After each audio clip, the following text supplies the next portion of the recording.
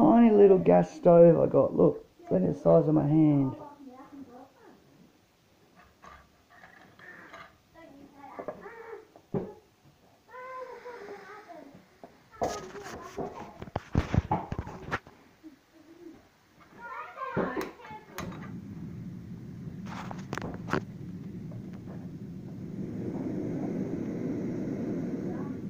Alright, eh?